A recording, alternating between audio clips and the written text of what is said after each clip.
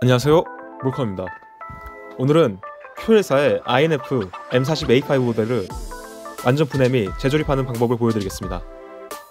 먼저 리시버의 스톡을 분리해주기 위해 스톡에 있는 3개 나사를 분해해줍니다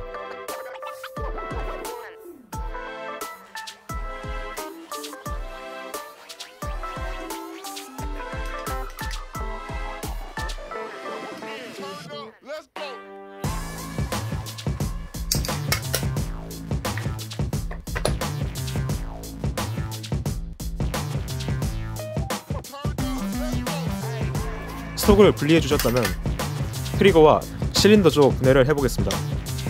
실린더의 분리를 위해 스프링 가이드의 스토퍼를 이러한 방식으로 빼줍니다. 스토퍼 분리 이후 볼트를 당기면 실린더가 빠집니다.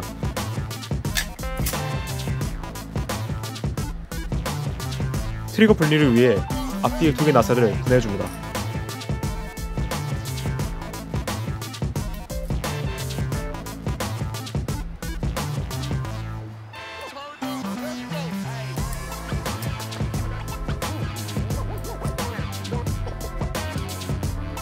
트리거의 구조는 일반적인 45도 VSR 10 트리거 방식과 비슷합니다. 다만 규격에 미세한 차이가 있습니다. INF 트리거가 더 짧은 편이며 VSR 10의 트리거를 INF M40에 장착할 수는 있지만 반대는 불가능합니다. 이유는 영상과 같이 규격이 다른 대신 VSR 10 트리거를 호환할 수 있게 리시버에 추가 나사 구멍을 만들어 놓은 설계입니다.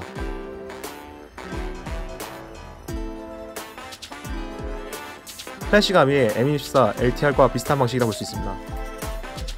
실린더는 스틸 재질로 매우 튼튼한 편입니다. 개인적으로는 동 가격대의 저격총 중 제일 괜찮은 듯 합니다. 실린더 헤드는 long nose나 육각 볼트를 이용하여 또는 실린더 오프너를 따로 구하셔서 돌려주시면 됩니다. 피스톤과 스프링 가이드 재질은 플라스틱입니다. 오래 사용하시면 추후 교체를 해주어야 할 물품 중 하나입니다.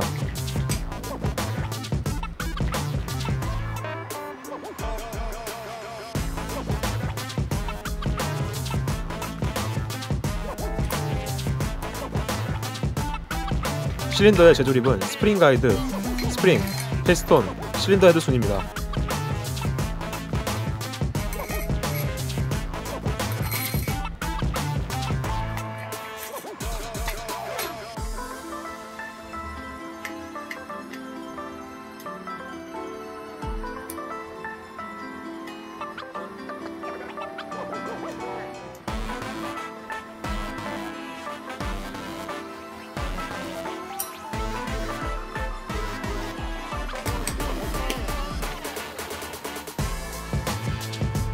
리시버와 out barrel의 분리를 위해 리시버 하부 두 개 나사와 상부 레일을 나사 중 첫 번째 나사를 분해해 줍니다.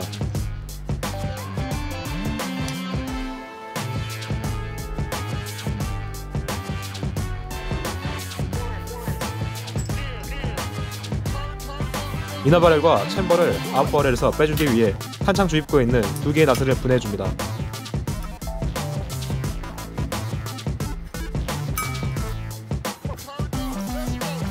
챔버의 호법 조정 바 나사를 분해해주고 아웃발에서 챔버와 이너바레를 빼줍니다.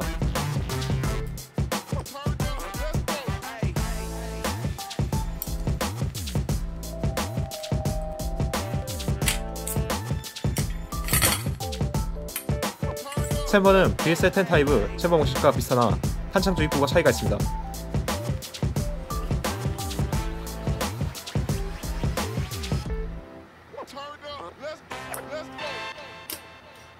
챔버의 모든 나사를 분해해줍니다.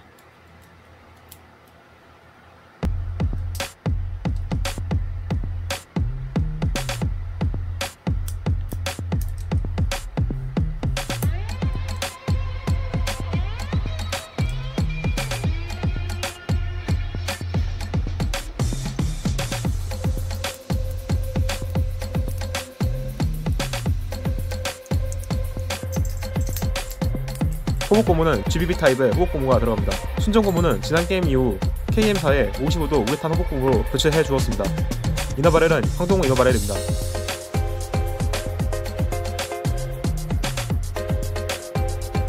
조립은 분해의 역순대로 해주시면 됩니다.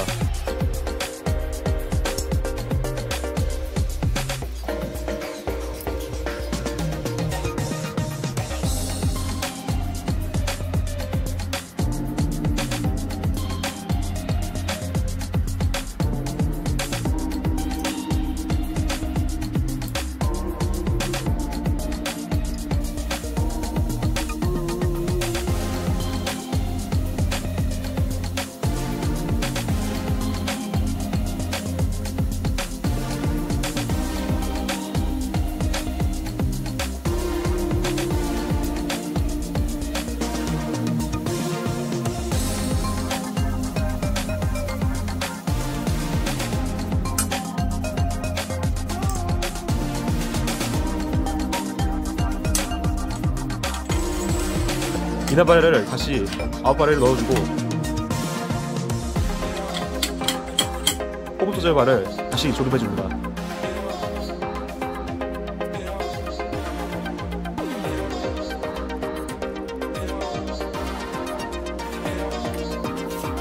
아웃바렐과 리시버를 다시 조립해줍니다.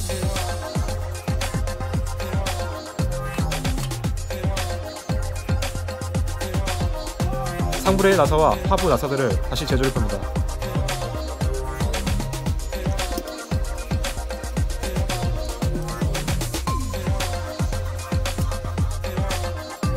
한창 주입포를 다시 재정착해 줍니다.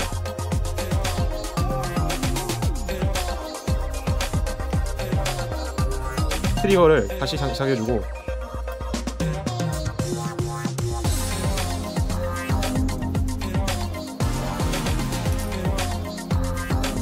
실린더를 다시 넣어줍니다.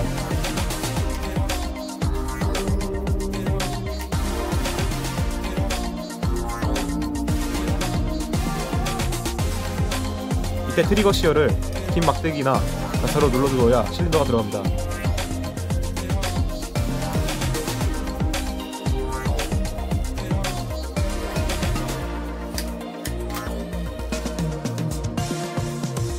스프링 가이드에 스토크 나사를 다시 넣어주고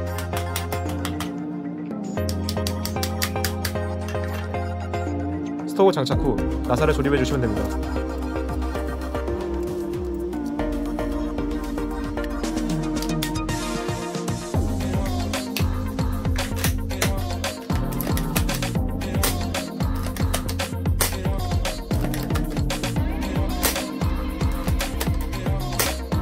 큐엔 M41A5의 분리 분해는 그리 어렵지 않습니다.